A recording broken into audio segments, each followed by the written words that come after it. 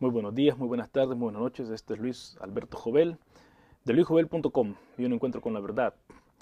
El día de hoy me gustaría traerle tres cosas, tres cosas que, que, he estado pensando. La primera es lo que hice la semana pasada, una pequeña meditación, lo que he estado haciendo prácticamente las dos últimas veces que he estado aquí en el video. Una pequeña meditación basada en 1 Pedro capítulo 4, versículo del 10 al 12. Después vamos a hablar de la predestinación. Prácticamente voy a estar leyendo de un artículo del, del nuevo diccionario de teología en español, eh, eh, publicado por, por, la Casa Bautista Publicaciones. Y de ahí vamos a hablar un poco de la paternidad de Dios, que mucha gente anda hablando de la paternidad de Dios, que qué es la paternidad de Dios. Eh, muchos dicen que estamos promoviendo una iglesia con paternidad y quisiera yo simplemente decir unas cuantas cosas de ello, eh, basándonos en la Biblia y qué es lo que en realidad se piensa. Pero primeramente vaya usted conmigo, si usted tiene su Biblia, a 1 Pedro capítulo, eh, capítulo 4, versículo 10 al 12, dice, cada uno ponga al servicio de los demás el don que haya recibido, administrando fielmente la gracia de Dios en sus diversas formas. El que habla, hágalo como quien expresa las palabras del mismo, mismas de Dios. El que, de ahí tenemos el concepto de la prédica, de que cuando uno está predicando está hablando las palabras de Dios. El que presta algún servicio, servicio, hágalo como quien tiene el poder de Dios. Así Dios será en todo alabado por medio de Jesucristo, a quien sea la gloria y el poder por los siglos de los siglos. Amén. ¿Qué es lo que me llama la atención de este pequeño texto? Que cada uno ponga al servicio de los demás el don que haya recibido, administrando fielmente la gracia de Dios en sus diversas formas. Cada uno tiene que poner ese don que recibió al servicio no de mi conveniencia, sino al servicio de los demás. Este próximo sábado aquí en nuestra iglesia tenemos un grupo de la hispana y, y Vania Labios es la, la encargada de, de, eh, El Salvador's Hope, se llama, es una, organización no gubernamental que ayuda a, niños y a mujeres ahí en El Salvador. Y van a tener pupusas, van a tener comida típica salvadoreña, etcétera, etcétera, hasta piñata van a tener. Y, y eso es lo que ella estudió, eso es algo que ella le apasiona y ella administra eso eso es lo que administra. Y no todos nosotros, bueno, yo no tanto, pero, pero todos los, demás, eh, las mamás hermanas apoyan haciendo eh, comida o yendo a ayudar. Claro, yo apoyo llevando a mi esposa o haciendo cosas. Eh, pero, pero cada quien tiene algo que hacer. Dice, cada uno ponga al servicio de los demás el don que haya recibido, administrando fielmente la gracia de Dios en sus diversas formas. Y hay diversas formas de hacerlo. Vania tiene una forma de, ayudar muy peculiar, que ella es la que organiza por eso estudió, por, eso tiene ese su don. Pero hay otras hermanas que están dispuestas a hacer otras cosas. Eh, tenemos una hermana, Carla Murillo, que ella es la que hace los flyers, las cosas de, para que sea bonito. Eh, cada quien tiene su don. Y está hablando acerca de las hermanas, porque las hermanas son las que usualmente ayudan más en la iglesia. El que habla, dice, hágalo como quien expresa las palabras mismas de Dios aquí va con, respecto a lo que yo soy, pastor, que hablo, que le gusta hacer videos, que le gusta hablar bastante. Tenemos que ser tan cuidadosos, mis hermanos y mis hermanas, aquellas que están, tienen el, el, el quehacer de predicar. Tenemos que ser tan cuidadosos como nosotros usamos la palabra de Dios, porque aquí Pedro nos dice, el que habla, hágalo, como quien expresa las palabras mismas de Dios. No estamos expresando, una vez más, lo que he dicho en mis videos, no estamos expresando nuestras experiencias, aunque, aunque sí, a veces es bueno referirse a las experiencias, pero no estamos expresando nuestra experiencia, nuestros, nuestras vacaciones, no estamos eh, expresando nuestros pensamientos eh, vanos, sino que tenemos que estar expresando la palabra de Dios conforme la encontramos en la Escritura. Esto es un gran compromiso que tenemos los que eh, predicamos la palabra de Dios. Y sigue, el que presta algún servicio, hágalo como quien tiene el poder de Dios. Esto es alentador, porque mucha gente dice, bueno, yo no soy tan grande como el pastor, porque el pastor es el que tiene la, la, mm, unción, o el anciano, o el que está arriba es el que tiene la unción de Dios. Pero aquí dice, el que presta algún servicio, es, eh, no, no especifica, pero quiere decir que cualquier servicio, hágalo como quien tiene el poder de Dios. O sea, que no es que, el que limpia el baño el que barre la iglesia, los hermanos y las hermanas que cuidan los niños, aún los bebés. Hermana y hermanos, le está diciendo aquí el Señor que usted lo está haciendo en el poder de Dios. Y siempre habla las palabras de Dios y después dice el poder de Dios. O sea, este versículo, los dos terminan, el que, el que habla y el que hace, termina eh, la, oración con Dios. Y dice, así que Dios será en todo alabado por medio de Jesucristo, a quien sea la gloria y el poder por los siglos de los siglos. Amén. No una doxología. Pero lo que yo, a mí me llama la atención es esto, de que cada quien ha recibido un don. Un don. Todos nosotros tenemos dones, por muy pequeño que sea. Yo a Carla le pregunté, eh, Carla, y vos estudiaste porque ella también hace em, las cámaras y hace el sonido en la iglesia. Y yo eso lo hacía yo de joven. Y ahora Carla y yo nos conocemos de que tenemos 17, 18 años. Y yo le dije, eh, Carla, ¿y, vos a dónde aprendiste esto? Eh, y a Salvador también. Y me dice, no, no, no, yo soy, soy una ama de casa y simplemente quiero servir. Tiene, tiene la gana de servir. Tiene el deseo de servir.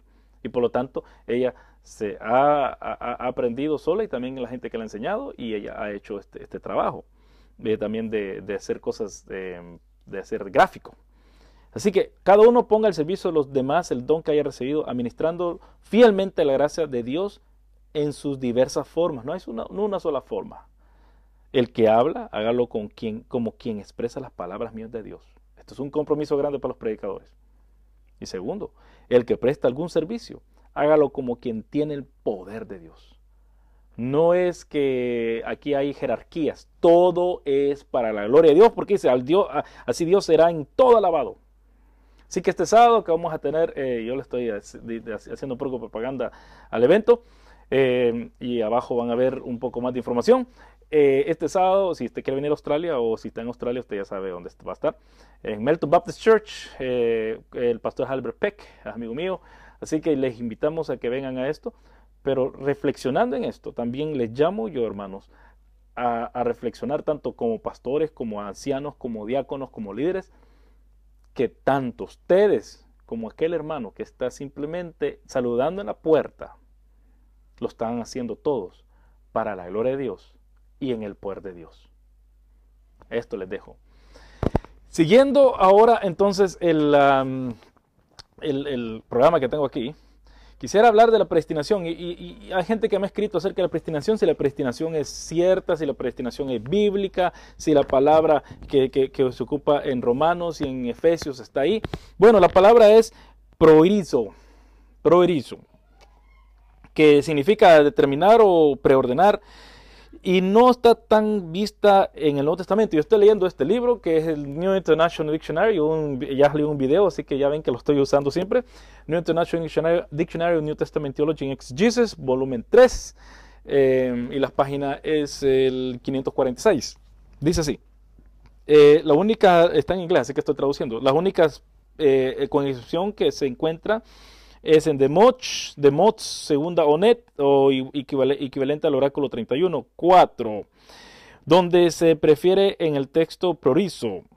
También este, este, es otro manuscrito totalmente fuera, o sea que, que, eh, la palabra prorizo no se ha usado eh, en, el Nuevo Testamento. Eh, antes del Nuevo Testamento casi no se ha usado, no, no se encuentra, pero vemos que Pablo sí la agarra. Esto ocurre en los cristianos, en, las oraciones de los cristianos, en, Hechos 4, 24 al 30, eh, como, eh, como también en el 2.23, donde Jesús se describe, eh, la pasión de Jesús describe la crucificación en estos términos. Ellos, la gente y sus líderes, hicieron lo que tu poder, literalmente la mano, y, voluntad, habían, habían decidido de antemano que tenía que pasar el 428, está hablando 428, de Hechos 428. Eh, se ve, es algo, es algo que se llama la atención que aún las, eh, las acciones eh, em, pecaminosas aún vienen al, en este caso, el 428 de Hechos, aún es, e, e, esas, esas acciones pecaminosas son hechas bajo la divina, bajo el plan divino de salvación. De ahí solo encontramos esto en las cartas paulinas, en 1 Corintios capítulo 2, 7. A mí me llama la atención ese, usted lo puede leer porque si no vamos a hacer muy largo esto.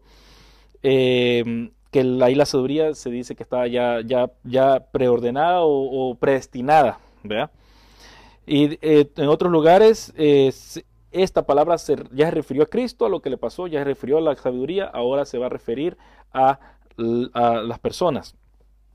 Eh, en Romanos 8, 29 y 30, esta palabra de vuelta sale. Em, y también en Romanos, cuando dice todas las cosas, todas las cosas trabajan para bien, aquellos que lo aman, aquellos que han sido llamados conforme a su propósito. Em, así que es, esto es lo que una vez más se, vuelve a repetir la palabra predestinado.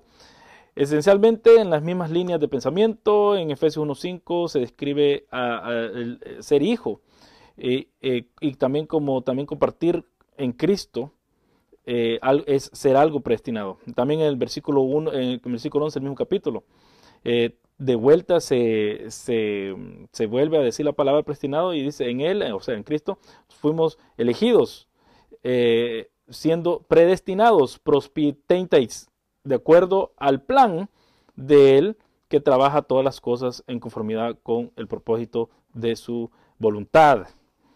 Eh, así que sí, la palabra predestinación existe en la Biblia, el priorizo la gente que objeta a tal palabra que no está en la Biblia simplemente no saben griego y simplemente quieren pasarse por alto lo que la Biblia dice. Eh, y, voy a leer lo que aquí también otro libro, el nuevo eh, diccionario de teología em, de, por Casa, Casa Bautista de Publicaciones.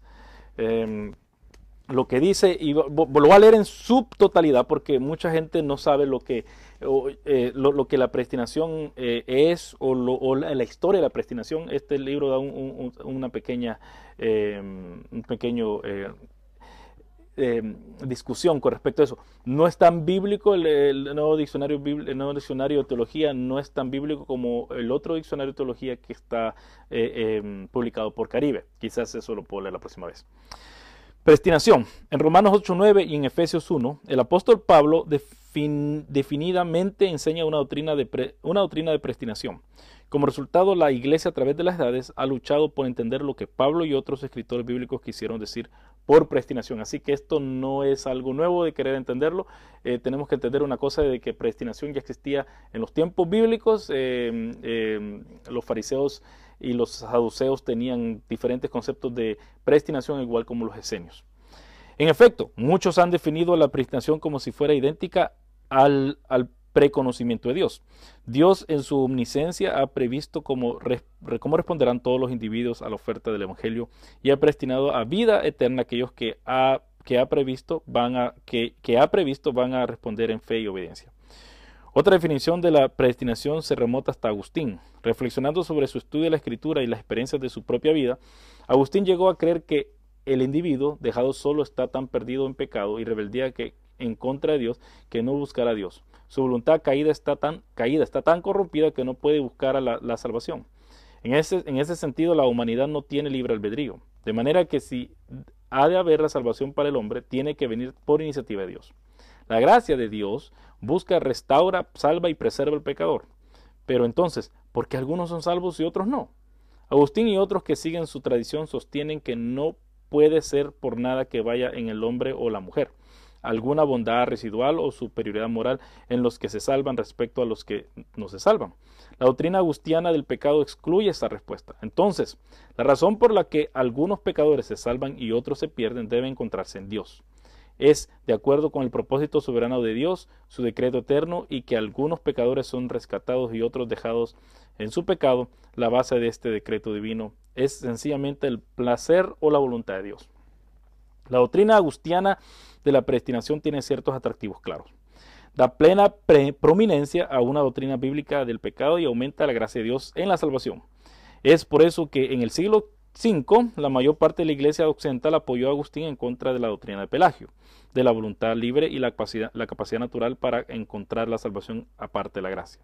La iglesia podía responder gustosamente a la enseñanza de que la salvación es un resultado únicamente de la gracia. El problema con el lado negativo de la predestinación, comúnmente conocido como la reprobación. La doctrina de la reprobación enseña que Dios, de acuerdo con su voluntad soberana, pasa por alto a algunos pecadores dejándolos en sus pecados y al fin los condena por sus pecados. Para muchos esta doctrina parece ser severa, injusta y determinista.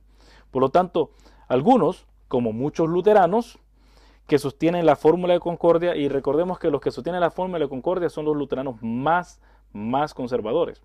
Aceptan al lado, el lado positivo y el salvador de la, aceptan el lado positivo y salvador de la doctrina de la predestinación, pero rechazan la doctrina de la reprobación. Frecuentemente se dice que los que rechazan la reprobación de esta manera creen en la predestinación sencilla más bien que en la predestinación doble. Así que eh, hay muchos luteranos y muchas personas que creen que están predestinados para salvación y dejan, eh, dejan el punto de que si algunos son condenados, lo dejan, no lo tocan, simplemente lo, lo ignoran. Los que defienden la predestinación doble predestinación y reprobación, sostienen que la reprobación es bíblica, eh, según Romanos 10, Romanos 9, del, versículo 10 al 23, y, manifiesta la justicia de Dios tanto como la salvación manifiesta su misericordia. Afirman que no es incorrecto o injusto que Dios deje a los pecadores en su pecado, ni, ni resulta la doble predestinación en el fatalismo, ya que Dios ha señalado la, la predicación, la evangelización y la, y la iglesia como los medios por los cuales llevará a cabo sus propósitos salvadores. Además, sostienen que la doctrina de la predestinación sencilla teológicamente es inherentemente inestable, teniendo nuevamente a hacer que algo en nosotros sea el factor fundamental de la salvación. Em, en sí es el, eh, después vamos a leer cómo, Calvino también eh, pensaba esto y vamos a ver cómo es que los luteranos critican esto que, los, los, calvinistas, los que creen en la doble predestinación, aún creen en salvación, por obras, porque eh, depende de las cosas, de cómo yo estoy viviendo, de cómo yo estoy viviendo, si estoy haciendo las obras de un salvo, es que eso, eso evidencia que soy salvo. Eh, el luteranismo usualmente critica esa posición, diciendo de que un calvinismo aún, hace o cree en la salvación por obras. En la Edad Media, muchos teólogos como Tomás de Aquino y Gregorio de Ramini, Rimini siguieron la doctrina agustiana de la predestinación. Otros, como Guillermo de Ockham, se llamaron agustianos a sí mismos, mientras realmente tendían a identificar la predestinación como el preconocimiento. Los principales reformadores protestantes, Lutero, Zwinglio y Calvino, enseñaron la doctrina agustiana completa de la predestinación. También llegó a ser la enseñanza oficial de la Iglesia de Inglaterra, tal como se como, se compendió en los 39 artículos. La iglesia anglicana tiene los 39 artículos de la religión, que eh, ahí es donde se define la, doctrina que ellos siguen. También había defensores del concepto agustiano de la predestinación en la Iglesia Católica Romana, incluyendo el cardenal Gasparo Contarini, algunos teólogos dominicos y jansenitas. En la última parte del siglo XVI, el jesuita Robert Bellarmine sugirió una posición de acómodo sobre la predestinación que ha llegado a conocerse como el congruismo. Pero de hecho no es, no es totalmente agustiana. El congruismo enseña que Dios ha elegido a ciertos individuos específicos para la salvación, pero que Dios salva a esos individuos ofreciéndoles suficiente gracia en circunstancias que Él ha previsto que resultarán, en su libre aceptación de esa gracia. El agustinianismo es, en contraste, enseña que la salvación llega a los elegidos por medio de la gracia eficiente otorgada soberanamente al individuo elegido. La predestinación llegó a tener una prominencia en el papel especial en la teología de Juan Calvino y sus seguidores. Calvino hizo de la predestinación un elemento integral de la experiencia cristiana, insistiendo que los creyentes deben estar seguros de que son elegidos porque están en Cristo. Ya que son elegidos, sus vidas deben caracterizarse por un servicio gozoso y confiado a Dios y a otras personas. Para Calvino, la predestinación era una doctrina de consuelo y de seguridad y debe liberar al cristianismo de una introspección morbosa o una inseguridad debilitante. Vamos a ver después por qué eh, muchos calvinistas después hacen esto mismo que Calvino quiso, em, quiso em, evitar. Surgió entre los calvinistas un desacuerdo sobre el orden lógico de los decretos de la presentación en la mente de Dios. Y esto es bien interesante, así que pongan atención. Había dos posiciones básicas, el, el supralapsarianismo y el infralapsarianismo. Los supralapsarios sostienen que Dios primeramente decretó salvar a algunos y condenar a otros y luego decretó la caída y la obra de Cristo como un medio para lograr ese fin. Siguieron a Teodoro Besa en su interpretación de Romanos 9 y en, y en seguir el principio aristotélico de que lo que es último en acción debe ser primero en el pensamiento. Los infralapsarios, siempre la moría entre los calvinistas, sostienen que primero Dios decretó la, o permitió la caída y luego decretó salvar a algunos y condenar a otros. Así que esa es la diferencia entre los, eh, este, supralapsarianismo es el que, que, Dios primeramente decretó salvar a algunos y condenar a otros, y luego decretó la caída y la obra de Cristo como un medio para lograr su fin. Y los infralapsarios, siempre, la mayoría entre los calvinistas, sostienen que primero Dios decretó o permitió la caída y luego decretó salvar algunos y condenar a otros. Y esa palabra decretar es bien es bien propia de los, de, los calvinistas y bueno, que ahora ya se hizo también propia de los, de los, eh, de los de la doctrina de los neopentecostales. Dentro de las iglesias reformadas había varias reacciones a la doctrina de la predestinación de Calvino. Algunos puritanos, por ejemplo, apoyaban la doctrina más hacían más hacían que la seguridad de la elección fuera un resultado de un largo proceso de lucha para el cristianismo.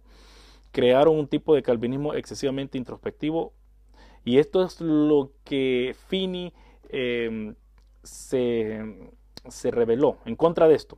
En, los tiempos de Fini, los presbiterianos o los calvinistas de su tiempo, de su área, decían de que, de que uno no podía saber si era salvo, sino que se iba solo y uno iba a sentir, después de pasar un, momento introspectivo, ellos iban a sentir que eran salvos. Em, suena muy mormón, ¿verdad que sí?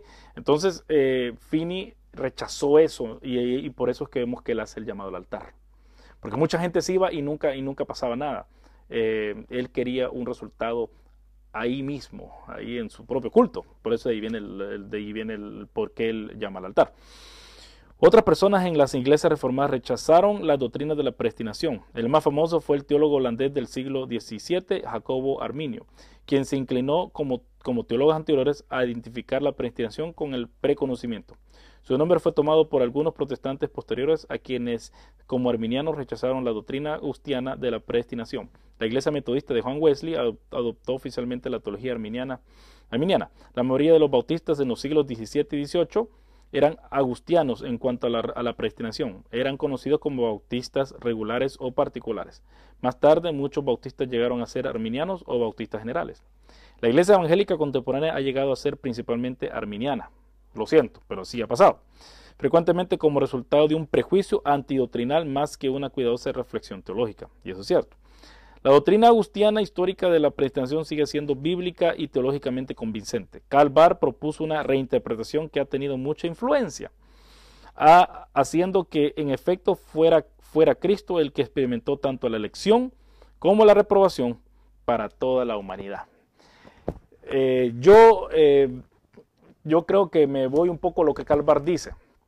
Calvar dice que el único, eh, ¿y por qué? Porque, porque Jesús es Israel, Jesús es el templo, Jesús es el, Hijo, Jesús es el, rey, el profeta, todo Jesús. ¿Y por qué no es el elegido también? ¿Verdad? Eh, eh, eso, eso es lo que me llama la atención a mí de ese punto de vista, porque mucha gente dice, no, no, no, eso se, se, se va a un universalismo. Sí, puede tener esa tendencia de irse al universalismo, pero si Jesús es todo en todo, entonces eh, si estamos dispuestos a aceptar que Jesús era todo en todo lo que acabo de mencionar, ¿por qué no también Jesús es el que representa la elección de Dios y también la reprobación en la cruz, el castigo, si es que murió por todos? Eh, entonces, em, y aquellos los que entran en Jesús es los que son elegidos. Eh, porque están dentro del elegido, en Cristo, esa, e, e, esa, palabra mística de Pablo, en Cristo, ahí es donde Calvar hace su, su su, um, defensa de su forma de pensar. Bueno, eso es eso con respecto a la predestinación. Espero que les haya ayudado. Y, finalmente y rápidamente también vamos a ver algo acerca de la paternidad espiritual. Mucha gente anda hablando de que yo, mi padre espiritual, ¿quién es tu padre espiritual? Em, le dicen papá a muchos, papi le dicen a unos pastores. Y yo creo que eso es antibíblico, eso no, no, no, no va, pero mucha gente dice que sí, que es bíblico, pero si leemos, y vamos a solo, solo ver las citas porque ya estamos terminando el tiempo, el, el tiempo, el tiempo. Jesús, Jesús dijo en Mateo 23, 8 al 12 que no hay que decirle rabí, no hay que decirle maestro y no hay que decirle padre a alguien aquí. Pero la gente dice, sí, pero Pablo dice en, en 1 Corintios 14, 4, 14 de que, de que él ha sido padre para los, para, para los corintios.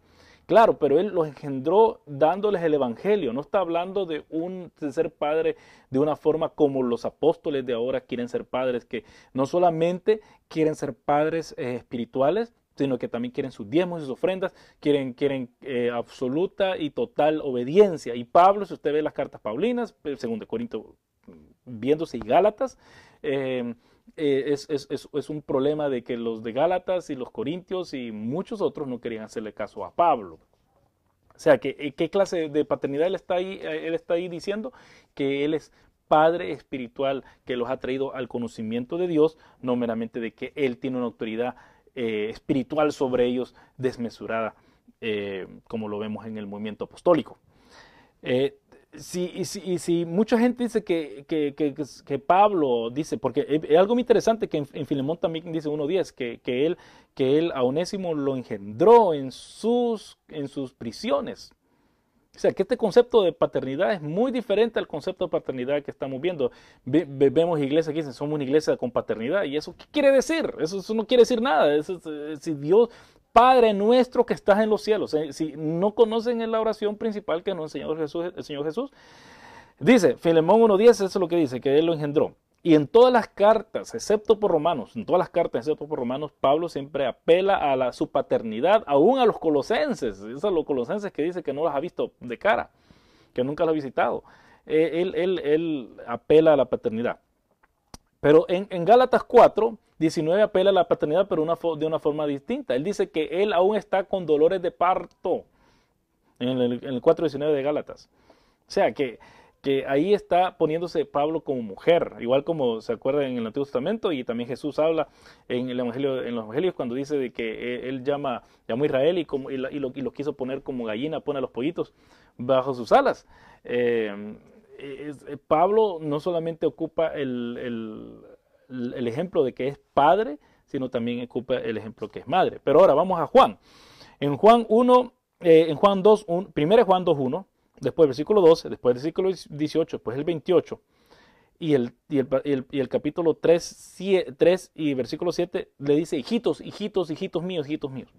Pero en el 3.21 dice hermanos. empieza ya con otra palabra.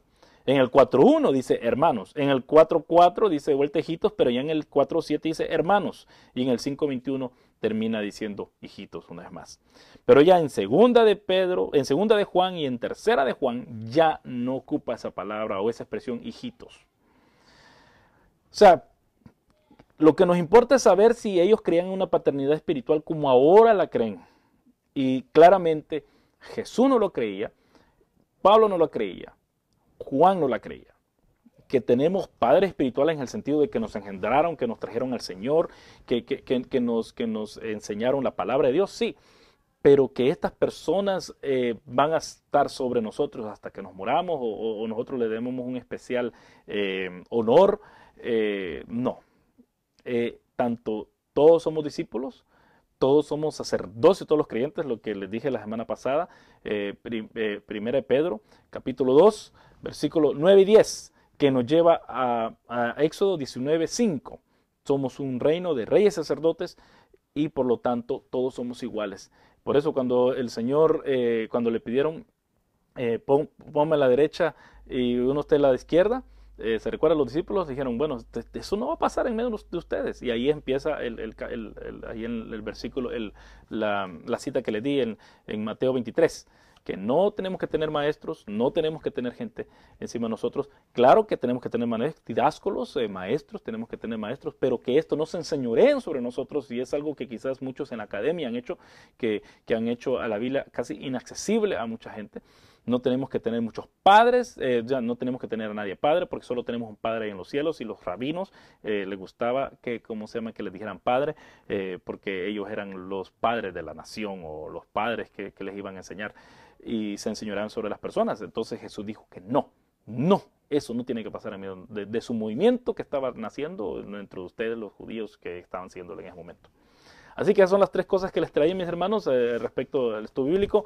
Eh, la, reflexión de 1 Pedro 4.10, de, de 4.10, 4, 10 y 12, la predestinación. Les leí todo un, artículo y un poco del, otro diccionario también teológico.